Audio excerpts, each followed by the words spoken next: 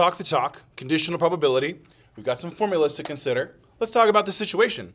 The probability of a positive test for a disease and actually having the disease is 1 out of 4,000.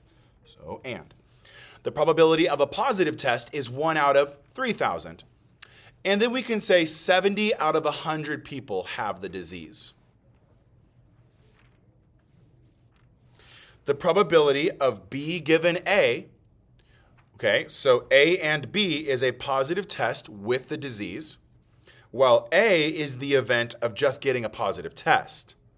So if we use those identifiers, then it's possible to say that the probability of having a positive test with the disease is 1 out of 4,000.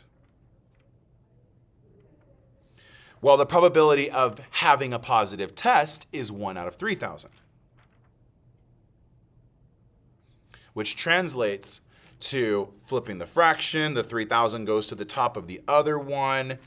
3,000 out of 4,000. If you divide, reduce these all by 1,000, you reduce down to 3 fourths or 75%.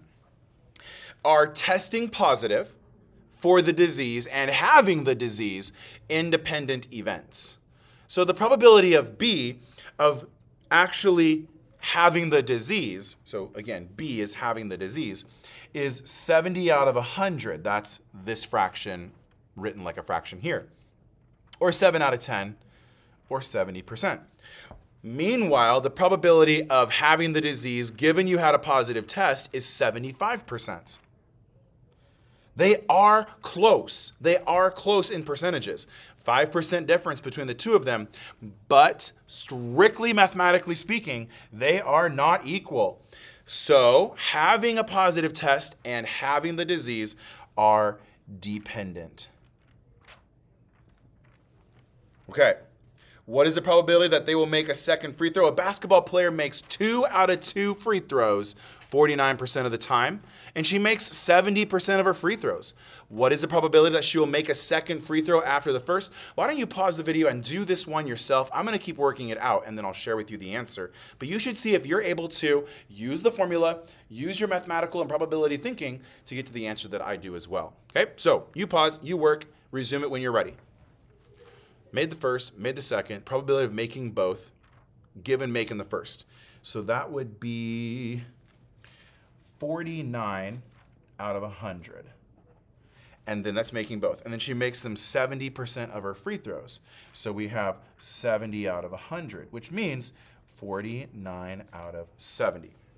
Okay, are making the first free throw and making the second free throw independent or dependent events.